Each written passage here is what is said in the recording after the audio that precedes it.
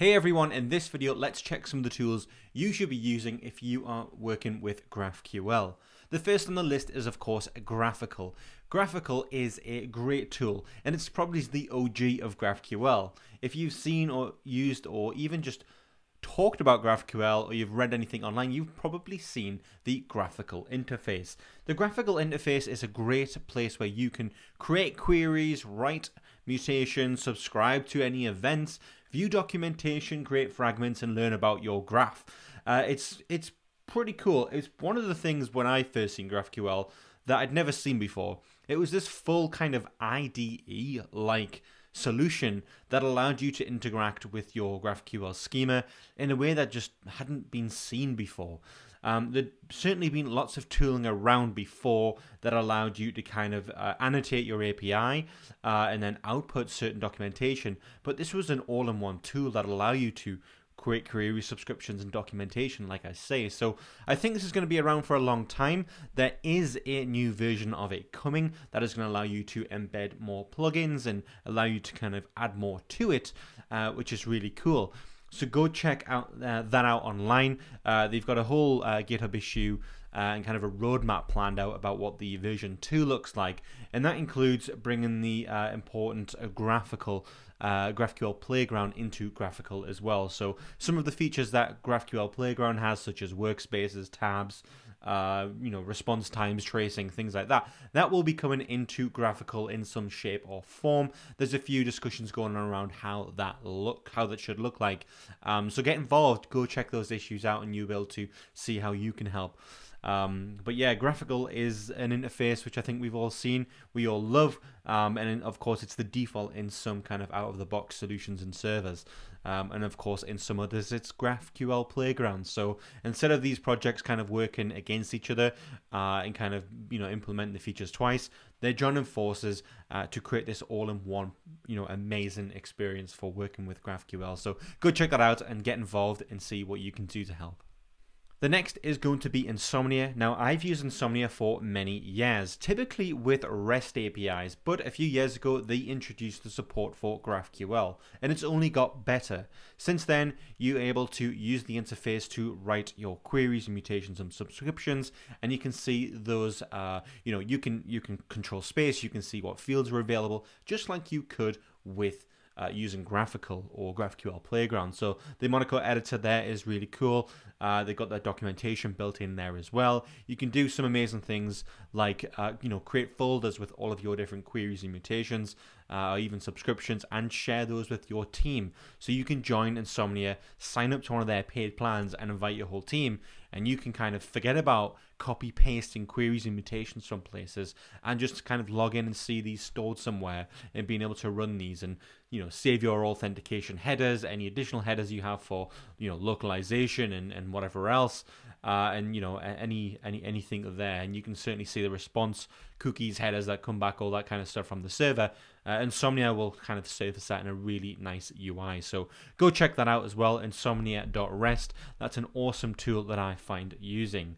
Um, next on the list is going to be the GraphQL code generator. And I think this is really nice. If you've someone like me who's used maybe the Apollo CLI in the past to generate your, your type definitions from your schema, well, GraphQL Code Gener Generator takes it a step further. They've got a whole range of different plugins that you can use to really customize the output and make it based on, you know, how you work with GraphQL. So go check out their website. They've got a bunch of different examples. Uh, you can create schema types. You can uh, create operation types for the front end. You can create all these kind of type definitions, uh, and it's got support for React hooks and uh, you know some of the traditional HOC stuff.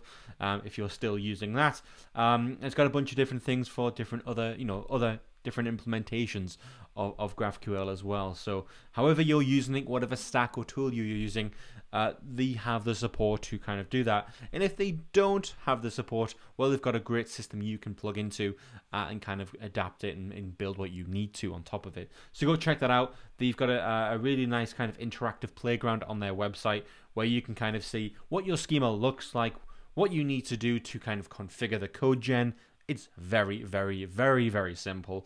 Uh, and then you can kind of see the exporter types. And then importing these inside of your IDE, such as VS Code, it just works so nice. And it pretty much works out of the box as well. You can just begin to type and you can see your types. You can import them and reference them when you are creating all of your different functions and variables and things. So go check out GraphQL Code Generator. There's a whole lot more to it than what I've just described, but that's one of the tools you definitely should be using uh, if you're working with GraphQL in 2021.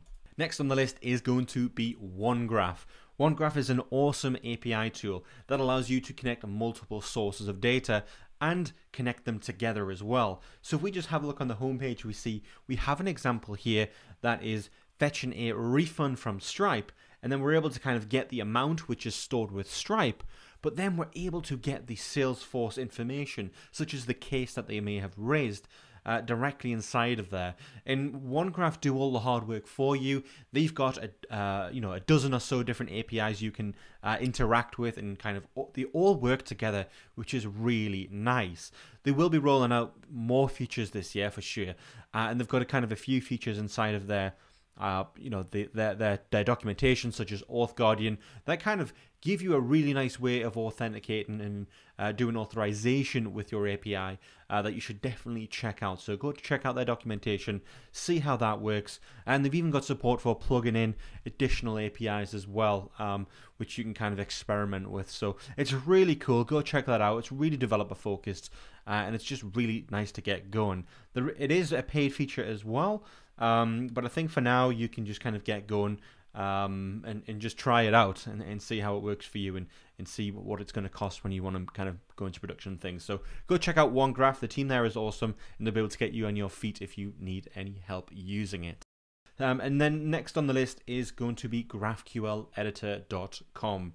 Now this is new to me. I've not used this a whole bunch, but it seems really cool. And I'm certainly seeing a lot of people talk about this. It's a way where you can specify your schema and then you can generate mocks or kind of a faker response for those mocks. So if you've used something like Apollo Server in the past and enabled mocks, well, this allows you to take that a step further and really allows you to customize it and have everything else inside of the IDE that they kind of have online as well. So you visit the GraphQLEditor.com, you log in, you uh, you know you have your schema in there there.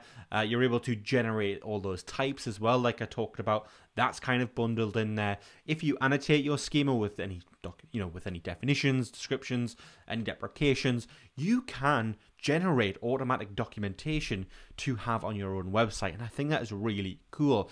There's no longer the need to tell your users to go and visit the GraphQL playground, the GraphQL bin, install the plugin with Insomnia to view your documentation, you can create beautiful docs all by using their tool. Um, and, you know, that's just automated. It's all part of the process. It's really nice. Uh, and your team can kind of log in. They can, uh, if you're familiar with using GraphQL Voyager in the past, they've got a similar thing going on there. You can see how your entire graph connects to one another. So imagine you've joined a new team in 2021.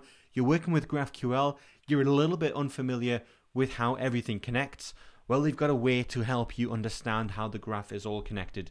You can go in there and you can figure out what relations are going where, uh, what direction they're going. You know, is it one to many, one many to one, many to many? What does that look like? And of course, everything with GraphQL union type and interfaces uh, and all the custom scalars you may have.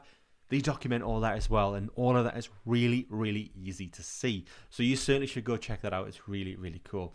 Um, and then obviously this wouldn't be a video without men you know this wouldn't be a video about GraphQL without mentioning Apollo Studio. Apollo is fantastic. They have an Apollo client library that allows you to make requests to uh, your GraphQL backend. Uh, then they obviously have the uh, they've got kind of Apollo Federation, which is a, you could think of that like one graph, but you would manage all these different services, and it's a bit different to maybe schema stitching if you've heard of that or you've used that in the past.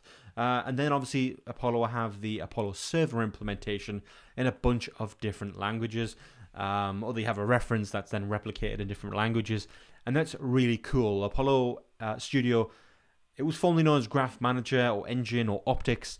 Um, they've renamed a few times, they've repositioned a few times, but I think their offer now is really cool. And when you log in, you can click and you can add all your different services.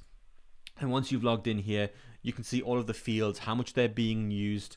Uh, you can use their Explorer to intelligently create queries. It'll automatically generate the variables for you, um, and then you can kind of just populate those and and do what you need to do. So their Explorer is a is a bit like GraphiQL uh, insomnia and graphql playground all in one um, but it's kind of uh, you know it's got their own flavor on top of it as well which is really really cool. So go check that out. You can learn about your history of your api uh, perform any kind of health checks you need um, integrate with things like slack and datadog and whatever you need to to get that in, uh, get all the information you need about your graph. So go and check that out um, and then last but not least, Graph CMS is a company uh, that I work for, and uh, I still believe in this. This may be biased. You may think I'm being biased, but I still believe that they uh, are one of the simplest ways you can create a GraphQL server without really doing much. You log in, you can then create a schema using the schema editor. And if you want, you can use their content editor to create content, but you can also create or query content using their API. So if you create a model, post, you create then a relation to, I don't know, an author or comments, you can fetch and mutate data using the API or using the content editor. It's a really cool, simple solution uh, that supports um, you know many, many, many different use cases. So go and check that out as well. I think that is a, a great tool for those getting started and obviously those at scale as well. Um, it's a really cool tool. So go and check that out. So if you've got any questions or if I'm missing something here that I haven't mentioned, please let me know in the comments what tool you're using with GraphQL and we can kind of just explore together. So all of the, most of the tools I've mentioned here either have Slack groups or they have GitHub uh, projects, discussions, whatever, where you can get involved. And I think this is one of the biggest things with GraphQL that is uh, just grown over the number of years for for for a long time it was is GraphQL better than REST? Is REST better than GraphQL? Well, you know, thank God we don't have SOAP anymore. It, look, the best thing about GraphQL is the developer experience, and I think the community around it. There's a lot of discussions going on around there to just help people become better developers. Um, and GraphQL, the GraphQL community is no different. They do that as well, and there's a lot of stuff going on. There's a lot of tooling that's yet to be built with GraphQL. So if you are new and you have an idea, everybody's welcoming. Everybody is willing to do their bit um, to try and make this thing work and you know help help everybody out. That's what it's all about. So get involved. Let me know in the comments if you have got any suggestions and what you think of some of the tools that I've mentioned. Um, and if you want to chat about this, feel free to reach out. If you've liked this video, please recommend it. If you think this is going to be helpful to someone else, obviously, of course, please share this.